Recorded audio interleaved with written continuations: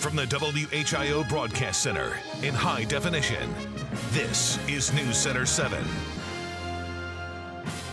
A former Dollar General employee only talked with News Center 7 about the company's ongoing struggle to match prices on the shelves with the prices at the registers. Good evening, I'm James Brown. I'm Cheryl McHenry. This after an I-team investigation found several stores in Montgomery County failed price match inspections. At News Center 7's Mike Campbell is live sharing this person's perspective on what's going on inside these stores. Mike?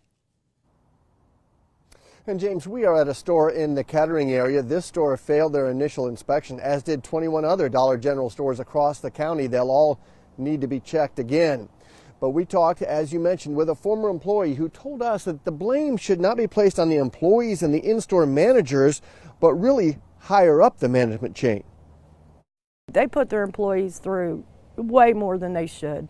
Linda Swank worked for Dollar General for four years. She said one day a week is supposed to be devoted to price matching work. There's a thing called Super Tuesday, and that's nothing's supposed to be done on that day until after price changes are done. There's a small problem with that plan, though. The people that are supposed to do the price changes also have to wait on customers, stock shelves, and clean the store, plus answer the phones. You said that they, a lot of times they won't allow a store to have more than two employees at a time? Never. I mean, uh, sometimes on truck day, but truck day is not on Tuesday.